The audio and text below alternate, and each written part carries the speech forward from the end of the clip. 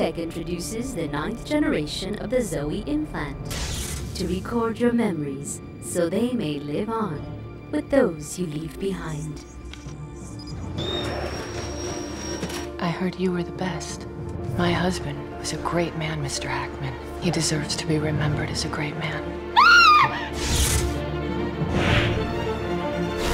Receiving Zoe footage, Charles Bannister.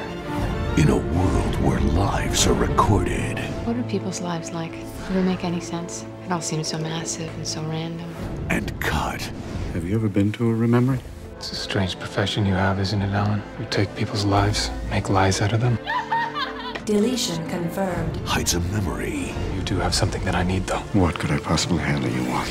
worth killing for. I take sands aren't clean. Bannister's implant is evidence. Sensitive files to be deleted.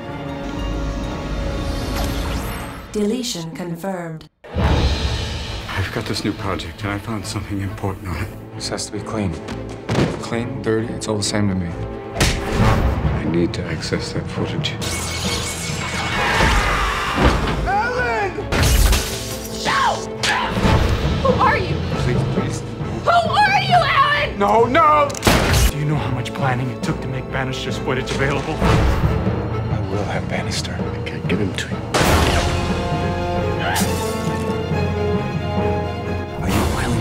For this?